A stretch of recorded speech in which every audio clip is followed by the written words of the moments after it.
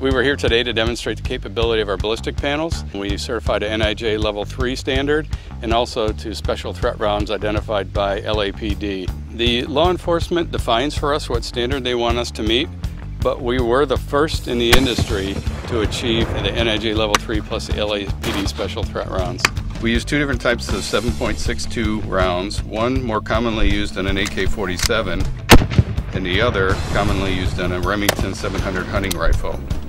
The other two rounds were fired from an M4. They include uh, a 5.56 round, an M855, and also an M193. The last two were a 45 caliber pistol and a 9 millimeter pistol. The ballistic panel itself is made up of two basic layers. The strike face, the outward facing side, is a ballistic grade ceramic tile that breaks up the bullet upon impact. On the back side of that tile is an aramid fiber that catches the shrapnel, preventing it from coming through. The advantage now is our doors are bigger on our new police interceptor, so we can offer the same level of protection as before, but about 20% more coverage area.